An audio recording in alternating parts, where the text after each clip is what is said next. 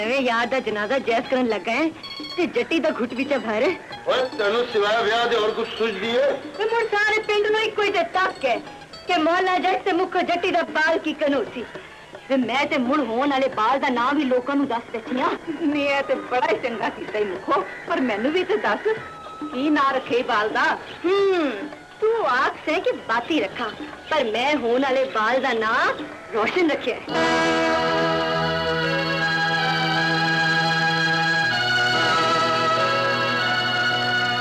चंपा और चंबेली, ये कलियाँ नई नवेली।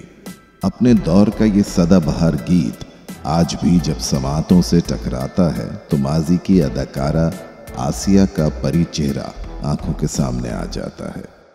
ये गीत फ़िल्म दिल और दुनिया का था, जो 1971 में रिलीज़ हुई। इस प्लेटिनम जुबली फ़िल्म के प्रोड्यूसर और हिदायतकार रंगीला थे। इस फ़िल्म में आसिया ने फूल बेचने वाली एक अंधी लड़की का किरदार अदा किया था। अदाकारा आसिया का असल नाम फिरदौस था। वो 13 नवंबर उन्नीस को पटियाला के फनकार घराने में पैदा हुई। उन्नीस में उनका घराना हिजरत करके कराची आ गया था। आसिया जब आठ साल की थीं तो उन्हें मौसीकी की तालीम दी गई। उन्हें फनकारा बनाने में उनके मामू अकरम का बड़ा अमल दखल रहा। 1970 में आसिया ने अपने फनी करियर का आगाज़ रेडियो पाकिस्तान कराची से बतौर गुलकारा किया। इब्तदाई तालीम न्यू टाउन स्कूल कराची से हासिल की। कराची में उन दिनों स्टेज को बेहद फरोग हासिल था। रेडियो के साथ साथ आसिया ने कराची स्टेज पर गुलकारी और अदाकारी का आगाज़ कर दिया। आसिया ने रक्स की बाकायदा तरबियत गुलाम हुसैन जूनागढ़ी से हासिल की। उस वक्त वो फिरदौस जूनियर के नाम से निजी महफिलों में परफॉर्म करती थीं। एक स्टेज ड्रामे में उनकी अदाकारी और मकालमों की अदायगी से मारूफ फोटोग्राफर नबी अहमद बेहद मुतासर हुए और उन्होंने आसिया को फ़िल्मों में अदाकारी के लिए कहा।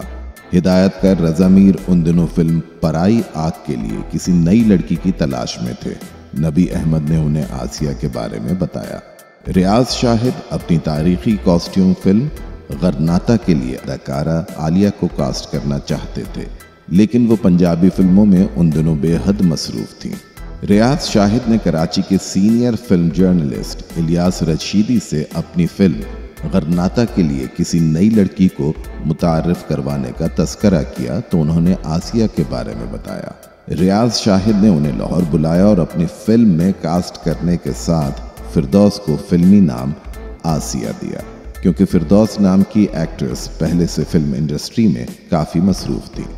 1970 में रिलीज़ होने वाली फ़िल्म गरनाता आसिया की पहली फ़िल्म थी।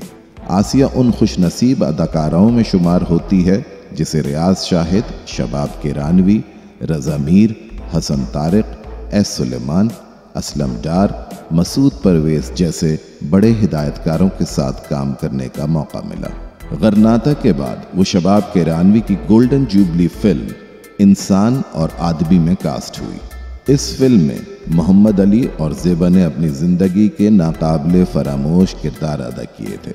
मारूफ अदाकार तलत हुसैन ने इस फ़िल्म में फारूक जलाल के नाम से अदाकारी की थी। इस फ़िल्म में जेबा ने उनकी माँ का रोल किया था। आसिया ने इस फ़िल्म में तलत हुसैन की मंगेतर का किरदार अदा किया था। आसिया अपनी इब्तदाई फ़िल्मों, यादें, पराई आग, चिराग कहाँ, रोशनी कहाँ में नई अदाकारा होने के बावजूद एक मंझी हुई एक्ट्रेस के तौर पर नज़र आई।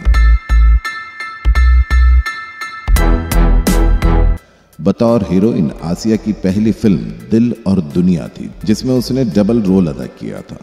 1972 में असद बुखारी की जाती फ़िल्म मैं अकेला में वो अदाकार शाहिद के मुकाबल हीरोइन आई। इसी साल रिलीज़ होने वाली हिदायतकार ज़फ़र शबाब की नगमाती फ़िल्म, मैं भी तो इंसान हूँ, में वो एक गरीब खाना बदोश लड़की के रोल में नज़र आई, जिसे फ़िल्म का हीरो रंगीला एक बहुत बड़ी फ़िल्म स्टार बनाने में मदद करता है। बड़ी हीरोइन बनने के बाद वह अपने महबूब और मोहसिन रंगीला को भूलकर शाहिद से मोहब्बत की पीएँ बढ़ाती है। फिर एक हादसे में आसिया की दोनों टांगें ज़ाया हो जाती हैं। इसका ये रूप देखकर शाहिद उससे मुँह फेर लेता है और उससे नफरत करने लगता है। आसिया ने इस किरदार में उम्दा अदाकारी की। इसी साल, डायरेक्टर रफीक अली खान राखन की डायरेक्शन में बनने वाली फ़िल्म पाजेब में आसिया अदाकार नदीम के मुकाबल हीरोइन आई। जबकि हिदायतकार हसन तारिक की नगमाती फ़िल्म उमराव जानदा में आसिया ने फ़िल्म की हीरोइन रानी की सहेली का किरदार अदा किया। 1973 में अदाकार एजाज दुर्रानी की प्रोडक्शन में बनने वाली पंजाबी फ़िल्म पुन्नू दी ससी में वो पहली बार वैम्प के किरदार में कास्ट की गई। दिल और दुनिया के बाद रंगीला ने उसे अपनी फ़िल्म दो रंगीले में हीरोइन लिया। ये फिल्म भी बेहद कामयाब रही सीन ऐसा शुरू ਹੁੰਦਾ ਮਿਸਾਸੀਆ पर ਤੁਹਾਡਾ ਹੀਰੋ ਤੇ ਇੰਗਲੈਂਡ ਗਿਆ ਹੋ ਜੀ ਦਫਾ ਕਰੋ ਉਹਨੂੰ ਮੈਂ ਕੱਟ ਕੇ ਇੱਕ ਨਵਾਂ ਹੀਰੋ ਲੈ ਲਿਆ ਨਵਾਂ ਹੀਰੋ ਹਾਂ ਹਾਂ ਉਹ ਕਿਹੜਾ ਉਹਨੂੰ ਤੁਸੀਂ ਜਾਣਦੇ ਵੀ ਹੋ ਪਹਿਚਾਨਦੇ ਵੀ ਹੋ ਆਓ ਵੇਖੋ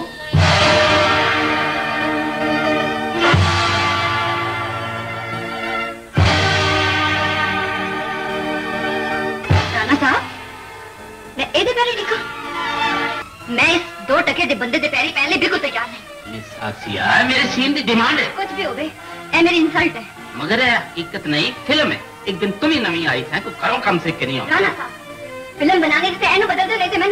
पाजेब के बाद डायरेक्टर राखन ने अपनी रोमानी नगमाती फ़िल्म सेहरे के फूल में नदीम के मुकाबल उसे हीरोइन कास्ट किया। इसी साल रिलीज़ होने वाली हिदायतकार एस टी जैदी और फिल्मसाज कवी खान की कामयाब फ़िल्म बेईमान में वो डबल रोल में उम्दा किरदार निगारी करती हुई नज़र आई। ये दो बहनों की कहानी थी, जिनमें से एक को तकदीर तवाइफ बना देती है। रंगीला और कवि इस फ़िल्म के हीरो थे। इस साल आसिया की रिलीज़ होने वाली दीगर फ़िल्मों में मस्ताना, माते कानून, कहदेनी नैना, खून दरिया, शेरू और चार खून दे प्यासे शामिल थीं। 1974 में आसिया ने अपनी जाती फ़िल्म प्यार ही प्यार बनाई, जिसमें वहीद मुराद को हीरो लिया। इसके हिदायतकार रफ़ीक अली खान राखन थे। इस फ़िल्म में आसिया की छोटी बहन शाजिया को भी मुतारफ करवाया गया। ये नगमाती फ़िल्म बॉक्स ऑफ़िस पर कोई रंग न जमा सकी।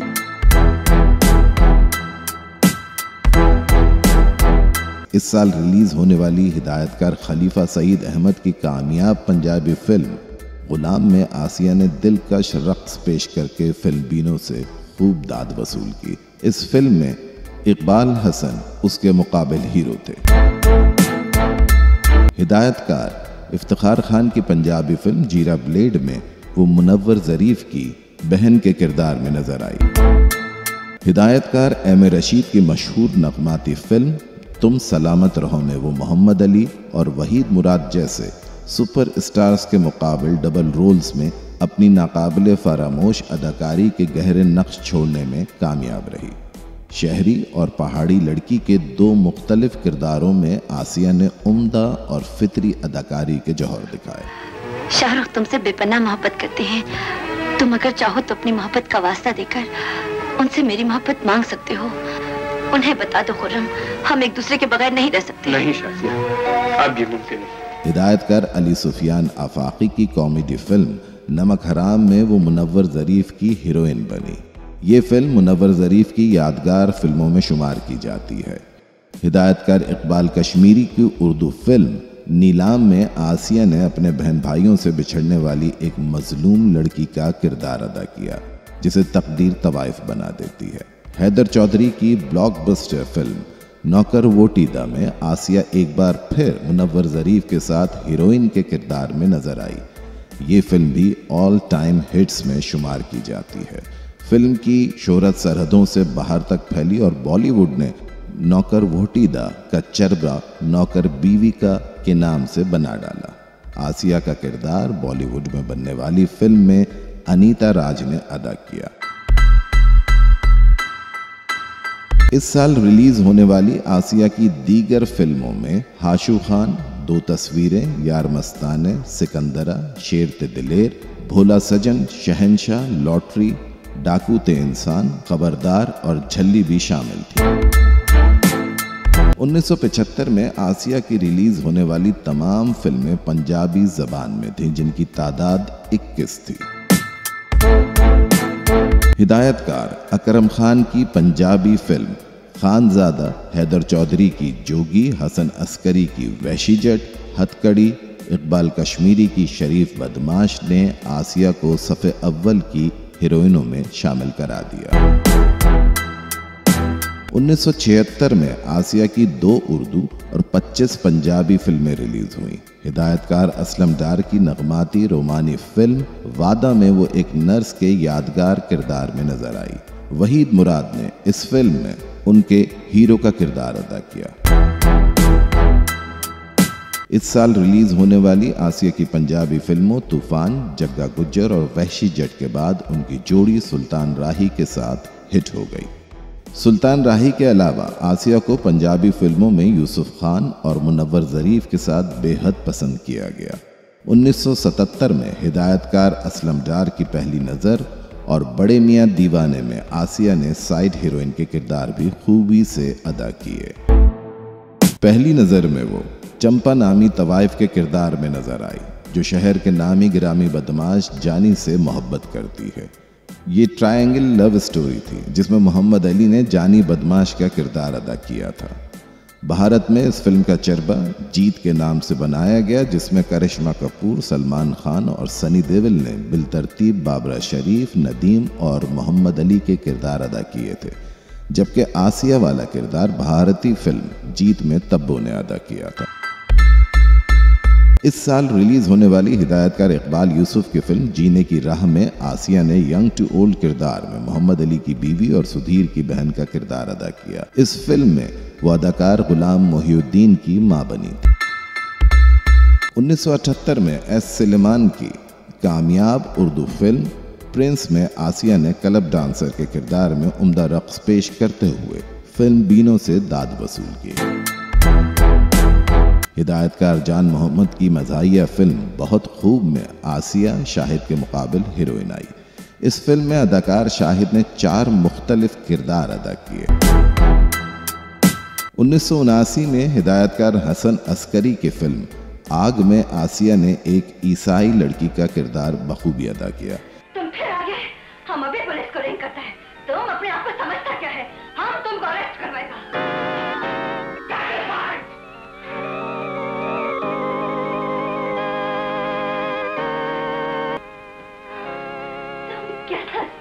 है जिमी जो इतना भी नहीं जानता, मोहब्बत भी एक खेल है।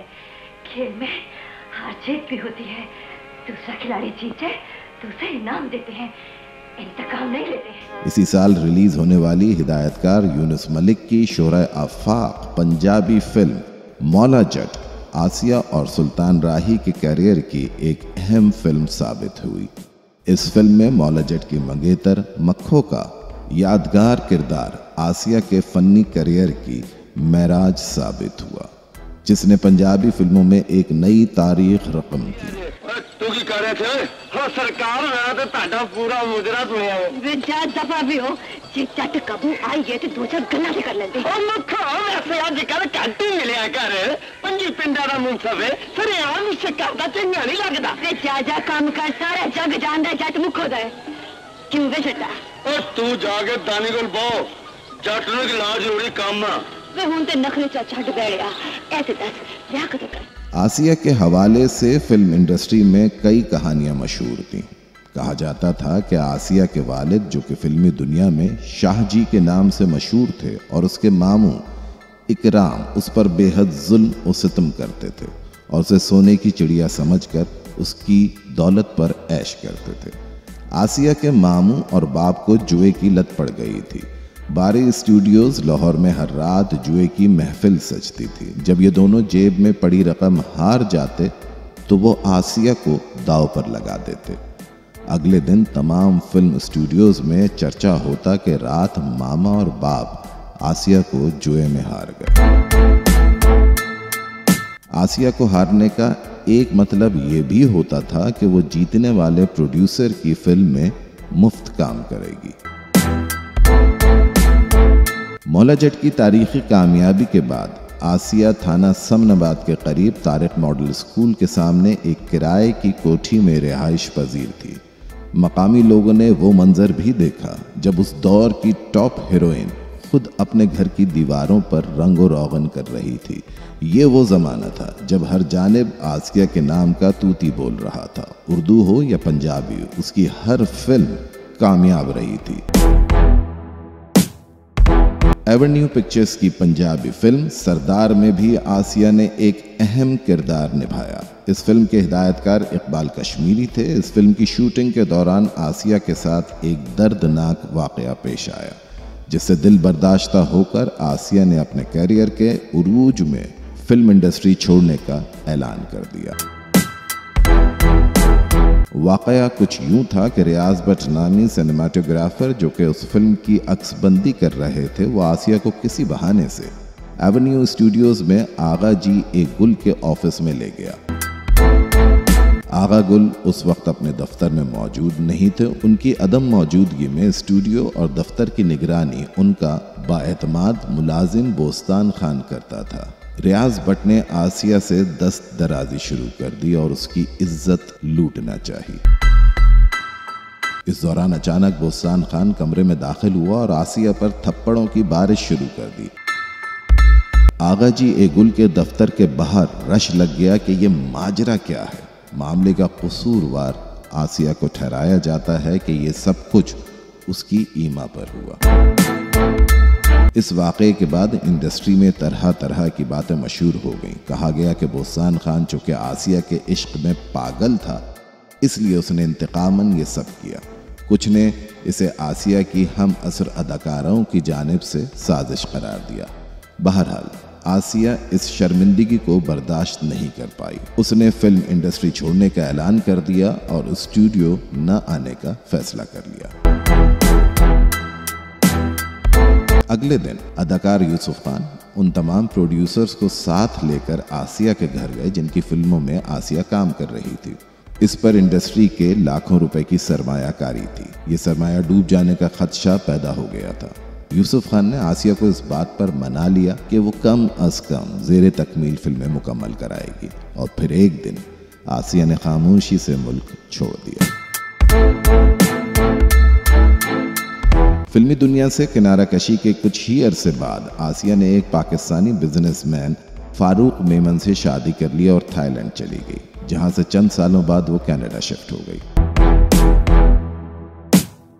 आसिया ने फिर कभी पलटकर फ़िल्म इंडस्ट्री को नहीं देखा। एक अरसे तक वो कनाडा में मुकीम रही, जहाँ से 9 मार्च 2013 को उनके इंतकाल की खबर आई।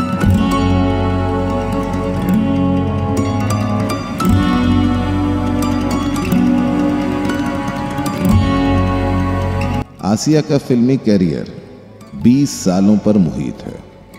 इन 20 वर्षों में आसिया ने 188 फ़िल्मों में अदाकारी के जौहर दिखाए, जिनमें 28 उर्दू और 160 पंजाबी फ़िल्में शामिल हैं। दिसंबर 1981 में आसिया की आखिरी कामयाब film Maula Jatt in London release हुई। आसिया की आखिरी फ़िल्म जाली अक्स थी।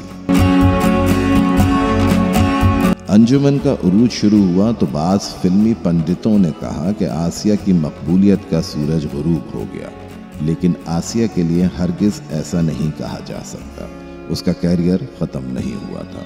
वो मैदान में डटी रही और इंडस्ट्री में मुसलसल काम करती रही। आसिया को उर्दू फ़िल्मों की कामयाब हीरोइन बनने का जुनून था। वो चाहती थी कि जिस तरह उर्दू फ़िल्मों में जेबा, रानी दीबा और शबनम ने मकाम हासिल किया है, वो भी इस मकाम तक पहुँचे। लेकिन आसिया, पंजाबी सिनेमा की सुपरस्टार तो कहलाई, लेकिन उर्दू फ़िल्मों के हवाले से आसिया को वो मकाम न मिल सका। इस अमर से भी इनकार मुमकिन नहीं कि आसिया ने उर्दू फ़िल्मों में शानदार कारकर्दगी का मुजाहरा किया। सेहरे के फूल की शानदार कामयाबी के बावजूद उन्हें शबनम या दीगर अदाकाराओं जैसा मकाम शायद इसलिए नहीं मिल सका कि फ़िल्म बीन उन्हें पंजाबी फ़िल्मों की मलका समझते थे। हालाँकि आसिया कई हिट उर्दू फ़िल्में इंडस्ट्री को दे चुकी थी। आसिया के बारे में ये कहा जाए कि वो वाहिद हीरोइन थी जिसके रिकॉर्ड में सबसे कम फ्लॉप फ़िल्में हैं तो बेजाना होगा। सत्तर की दिहाई में आसिया को फ़िल्मों की कामयाबी की जमानत समझा जाता था। वहीद मुराद के साथ फ़िल्म जोगी आसिया की शानदार फ़िल्मों के सिलसिले की एक कड़ी थी। इसका रक्स करने का अंदाज दूसरी हीरोइन से जुदागाना था। उस दौर में उर्दू और पंजाबी फ़िल्मों की रक्कासाओं में नीलो टॉप पर थी। अदाकारी के साथ रक्स में महारत रखने वाली सबसे मकबूल हीरोइन रानी थी। नीलो और रानी के बाद अगर किसी को डांसर हीरोइन माना जाता था तो वो आसिया थी। आसिया की बड़ी खूबी ये थी कि उन्हें गाने पिक्चराइज करवाने में महारत हासिल थी। आसिया की हम असर अदाकाराओं में आलिया, चकोरी और नजमा के नाम शामिल हैं। नजमा भी उन दिनों खासी मकबूल थी। नजमा ने इकबाल हसन और मुनवर ज़रीफ के साथ कई हिट फ़िल्में दी, लेकिन वो भी शादी के बाद जल्द ही फ़िल्म इंडस्ट्री छोड़ गई। आसिया और मुसरत नज़ीर के फिल्मी करियर में इस हवाले से मुमासलत पाई जाती है। कि मुसरत नज़ीर को भी एक उर्दू फ़िल्म, शहीद से शोहरत मिली, लेकिन जब उनकी पंजाबी फ़िल्म, यक्के वाली, रिलीज़ हुई तो फ़िल्म प्रोड्यूसर्स ने उन्हें सिर्फ़ पंजाबी फ़िल्मों के लिए मखसूस कर दिया। ऐसा ही कुछ आसिया के कैरियर में भी हुआ। उर्दू फ़िल्म से कामयाब होने वाली अदाकारा, बाद अजा, पंजाबी फ़िल्मों की ज़रूरत बन गई। आसिया के पूरे फिल्मी कैरियर को एक तरफ़ रखकर सिर्फ़ मौला जट में मक्खो के किरदार को ही लिया जाए तो ये एक किरदार ही आसिया की शनाख्त और पहचान के लिए काफ़ी है।